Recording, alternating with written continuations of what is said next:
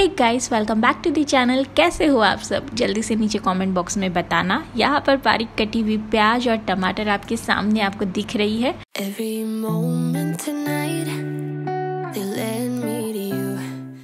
सो बनने क्या जा रहा है? राजमा। राजमा मैंने उबाल लिया था सुबह सुबह उठने के बाद यही काम किया है सबसे पहले। राजमा मैं बहुत आसानी से बनाती हूँ। कुकर में यहाँ पर तेल डाल दिया जिसे गर्म करने के बाद मैंने डाला सबसे पहले तेज पत्ता। बारीक कटी हुई प्याज, अदरक, लहसुन का पेस्ट और यहाँ पर हर चीज़ को अच्छे से भून लिया। मैं बहुत आसानी से बनाती हूँ, पहले भी मैं कई बार अपने इस रेसिपी को दिखा चुकी हूँ आप सभी को। उसी के बाद यहाँ पर थोड़ी सी हल्दी पड़ जाएगी और उसी के बाद टोमेटोज़ टोमेटोज़ और प्याज और अदरक, लहसुन का पेस्ट सब कुछ जब अच्छे से मिल जाए, पक जाए, तब मैं क्या करती हूँ? इसमें डाल देती हूँ राजमा मसाला। राजमा मसाला बहुत इंपॉर्टेंट रोल प्ले करता है। मैं राजमा मसाला घर में नहीं बनाती हूँ, ये मैंने रेडीमेड मार्केट से लिया है। सारे मसाले को अच्छे से जब मैं भून लेती हूँ, जब मुझे ऐसे लगे कि हाँ इनफ भून गया है, तेल वगैरह छूट चुका है मसाले में, तब स्वादानुसार नमक डाल दिया और उसी के बाद थोड़ा नमक कम डालूँगी क्योंकि राजमा उबालते समय भी मैंने नमक डाला था तो थोड़ा सा नमक मैं उस हिसाब से कम डालूँगी।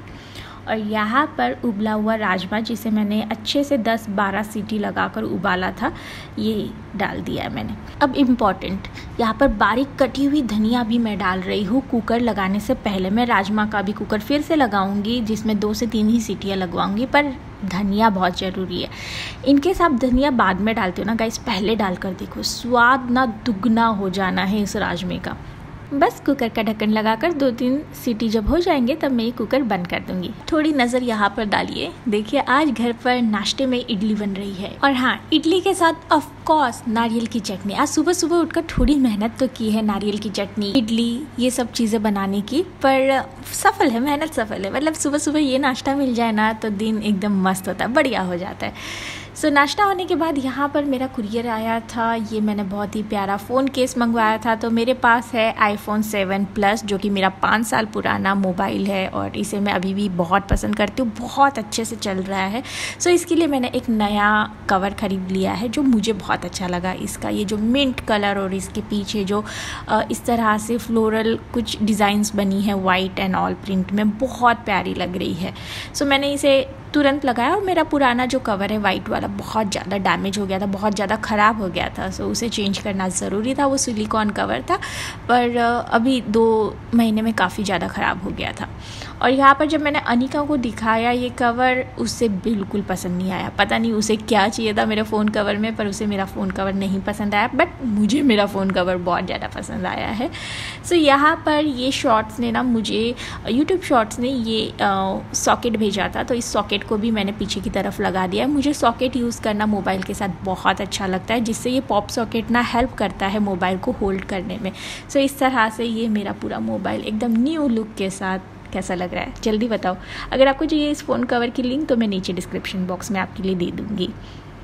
तो बस नहाने जा रही हूँ। नाश्ता पानी हो गया, फ़ोन का कवर लग गया, बालों को अच्छे से बाँध कर बस नहाने जाने की तैयारी चल रही है। और थोड़ा सा दिमाग ना मेरा कहीं पर लगा हुआ है। मेरे दिमाग में कुछ चल रहा है, आगे जाकर बताऊँगी। मूव ऑन फिर ऑफ़िस में वही सुबह सुबह पहुँच गई थी मैं और अपना जितना भी काम है एडिटिंग एडिटिंग तो खैर मेरी टीम करती है पर उससे भेजने से पहले भी मुझे थोड़ी बहुत क्लिप्स जो है अपनी तरफ़ से आगे पीछे कुछ करनी पड़ती है ऊपर नीचे आगे पीछे वो मैं ही जानती हूँ। सो so, ये सारा काम तो चल रहा है और ऑफ़िस में लगभग मैंने दो ढाई घंटा आज स्पेंड किया था। एंड आफ्टर डैट ये मेरा लंच का प्लेट जिसमें राजमा चटनी हरी वाली जो कि अफकोर्स विमला ने बनाई है और गर्मा गर्म रोटी। चावल खाऊँगी बाद में बट पहले रोटी के साथ राजमा।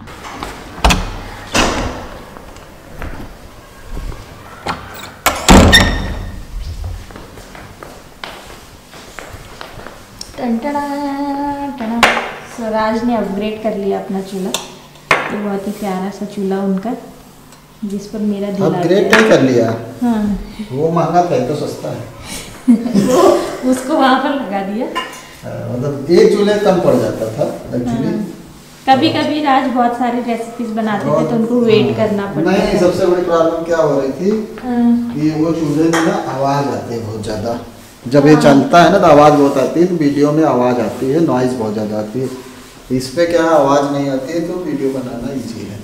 इनकेस अगर आपको अच्छा लगा है तो मैं इसकी लिंक दे दूँगी क्योंकि अमेज़ोन से लिया है ये। और काफ़ी मतलब अच्छा लग रहा है क्यूट सा और फिनिश वगैरह भी अच्छी है खैतान का है अच्छा लग रहा है। ओके सो फ़र्स्ट चूल्हे पर आज ये बनी है खीर राइस की। वाह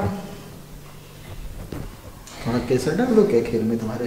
अच्छा केसर to give a good good feeling के फ्लेवर फीलिंग फीलिंग फ्लेवर तो कुछ नहीं मैं नहीं मैं ऐसे ही खा लूँगी वैसे भी आपके हाथ की खीर में पहले भी खा इसको चुकी नहीं नहीं इतनी इतनी फीलिंग काफ़ी है मेरे लिए। इतनी काफ़ी है। राइस की खीर है बेटा। आती होगी विमला खा चुकी है। कैसी है रे विमला? बहुत अच्छा है। शाम को जब काम से मैं फ्री हो गई तो मैंने सोचा कि मेरे पास स्ट्रॉबेरी रखी हुई है उसका कुछ डेजर्ट बना देती हूँ। तो ये जो मेरे पास चॉकलेट कंपाउंड था उससे मैं अच्छे से काट रही हूँ। काफ़ी हार्ड हो गया था क्योंकि इसे मैंने फ्रिज में रखा था तो ये काफ़ी हार्ड हो गया था एकदम पत्थर इसे काफ़ी मतलब मेहनत के बाद मुझे। इस तरह से काटना पड़ा और यहाँ पर डबल बॉयलर मैंने रख दिया है क्योंकि चॉकलेट को मेल्ट करने का यही एक प्रोसेस होता है। सो मैंने यहाँ पर चॉकलेट्स को डाल दिया है जो भी मैंने कट किया था और चॉकलेट हल्की फुल्की मेल्ट होनी चालू हो चुकी है। और इन स्ट्रॉबेरीज़ को भी मैंने फ्रेश एकदम धो धा कर रख दिया था और बहुत फ्रेश लग रही है, अच्छे से ड्राई भी कर लिया है। और ये मैं मेट्रो गई थी ना दो दिन पहले, वहीं से लेकर आई हूँ। यहाँ पर चॉकलेट भी अच्छे से मेल्ट हो गया है, अब मुझे करना क्या है? इस मेल्टेड चॉकलेट में बस स्ट्रॉबेरी को डिप करना है और यहाँ पर बटर पेपर पे मैं रखते जा रही हूँ। बहुत आसान है मतलब बिल्कुल डिफ़िकल्ट नहीं है, बट अनफॉर्चुनेटली ये रेसिपी मेरी फेल हो गई है। ये रेसिपी इतनी अच्छी नहीं बन पाई जितना मैं इमेजिन कर रही थी फ़र्स्ट अटेम्प्ट था but next time I am damn sure कि मैं इसे फिर से अच्छे से बना लूँगी। क्या आप इसकी रेसिपी मेरे साथ शेयर कर सकते हैं? इनकेस अगर आपको पता हो तो प्लीज़ बताइएगा। ओके okay गाइस मैंने अभी नोटिस किया कि इस ब्लॉग का एंड नहीं हुआ है। वो तो यहाँ पर होगा प्लस आपने इस ब्लॉग में मुझे थोड़ा सा मतलब कम पाया होगा। इनफैक्ट बहुत थोड़ा थोड़ा सा ही पाया होगा। रीज़न ऐसा होता नहीं है मेरे व्लॉग्स में, आपको भी पता है। रीज़न मैं किसी चीज़ में ना इतनी ज़्यादा बिज़ी हो गई हूँ कि बस वो एक दिमाग में दिल ने ठान लिया कि बस अब कर जाना है, अब करना ही है। सो so, मैं बहुत सारी चीज़ों को ऑर्गेनाइज़ करने की कोशिश कर रही हूँ बहुत सारा अच्छा कंटेंट बनाने की कोशिश कर रही हूँ जिसमें मैं अकेले ना थोड़ा बहुत मुझे ऐसा लगता है कभी कभी फेल हो जाती हूँ कि मैं ही सब कुछ सेटअप कर रही हूँ मैं ही अपने वीडियो की हीरोइन हूँ और मैं ही अपने वीडियो की मतलब डायरेक्टर हूँ प्रोड्यूसर हूँ। सो so, कई बार ना मेरे लिए ये सारे टास्क निभाना ना बहुत मुश्किल हो जाता है। सो so, मुझे चाहिए एक ऐसी कोई असिस्टेंट जो मुझे असिस्ट करे। और अगर आप जानते हो जो लखनऊ से हो और वो मेरे इस प्लेस में आकर मुझे असिस्ट कर सके तो बेस्ट होगा। वही मुझे चाहिए। ऐसे नहीं कि वो घर से मेरे लिए कुछ करे। नहीं इसमें मेरा कोई फ़ायदा नहीं है। मुझे चाहिए जो मेरे प्लेस में आए और मुझे एज अ असिस्टेंट हेल्प करे। सो so, एक ऐसा कोई आप जानते हो एजुकेशन कोई क्राइटेरिया नहीं है इस जॉब में। और ऑफ़ कोर्स ये एक पेड जॉब होगी। तो आप थोड़ा बहुत मेरी हेल्प कर दोगे राइट तो ये कर दो अगर आप लखनऊ से बिलोंग करते या आपके जान पहचान की कोई है जो जॉब ढूंढ रहा है तो प्लीज़ प्लीज़ प्लीज़ इस ईमेल आईडी पर मुझे कांटेक्ट करें। बाकी हम लोग एडिटर्स वगैरह हायर कर रहे हैं, उसके लिए हमने ऑलरेडी रेस कर दिया था इन डीड पर शायद राज ने किया था तो उसकी तो इंटरव्यू प्रोसेस चल रही है। सो so, वो तो बैकएंड का काम है उसको मैं आपको दिखाकर मतलब कोई फ़ायदा भी नहीं है। सो so, वो बैकएंड में चल रहा है बट मेनली मुझे चाहिए एक ऐसी असिस्टेंट जो कि मुझे हेल्प कर पाए। ठीक है प्लीज़ हेल्प कर दो यार बड़ी मुश्किल हो रखी है। और मेरे दिल में दिमाग में अगर कोई चीज़ आ जाए ना तो फिर मैं ना उसे करके ही ठानती हूँ। वो थोड़ी सी मेरे साथ है एक दिक्कत मैं वैसी नेचर की हूँ। सो so, अभी कुछ चीज़ें मेरे दिमाग में चल रही है जिसे मैं अकेले नहीं कर पाती हूँ। सो so, पॉसिबल है तो गाइस किसी को भेज दो यार।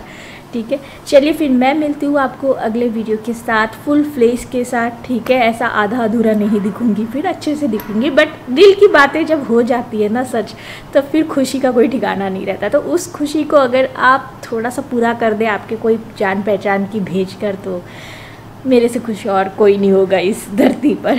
ठीक है, चलिए फिर मिलती हूँ अगले वीडियो के साथ, तब तक के लिए bye bye guys take care